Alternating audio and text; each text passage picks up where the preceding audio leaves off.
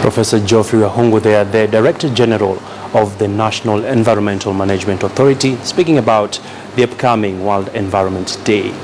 Well, let's shift attention and talk matters energy now. Kenya's quest to harvest cheap power from wind is slowly but surely taking shape as the Lake Turkana Wind Power Company runs ahead of schedule in setting up wind turbines for the 310 megawatt plant. The company aims to be up and running by July next year with phase one of the project expected to inject the first 90 megawatts of wind power into the national grid by September this year.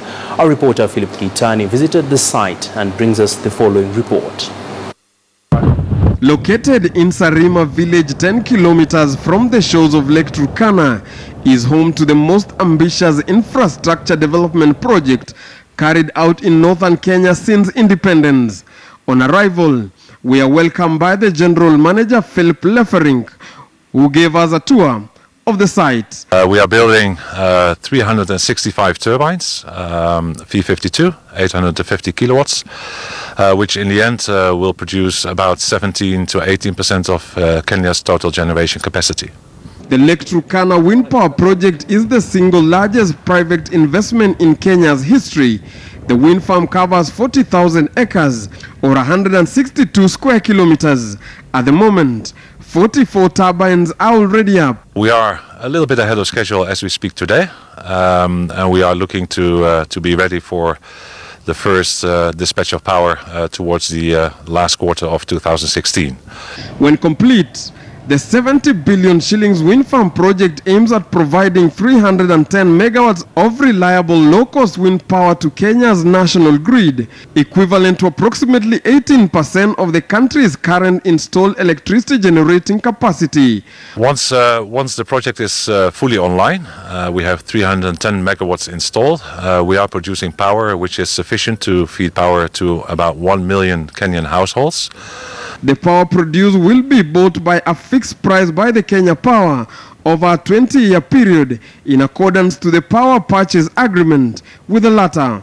And we have looked at the wind resource, analyzed it for many years, and uh, we came to the conclusion that uh, in the configuration as we have it today, on the scale we have it today, that a project benefiting the country and also benefiting the investors, of course, uh, could be realized.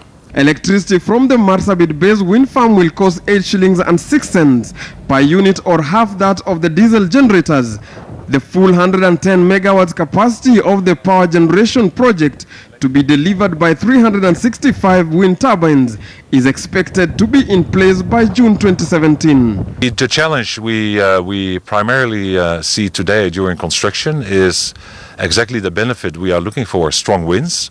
Uh, during construction, that is actually quite challenging. We need to lift uh, big pieces quite, uh, quite high. Uh, that actually sometimes is challenged with the strong winds we have on this site. Upon its completion in 2017, Google will acquire Vestas 12.5% stake in Africa's largest wind park. Google investment is a leading example of companies investing in wind energy globally to achieve attractive financial returns and scale development of renewable energy.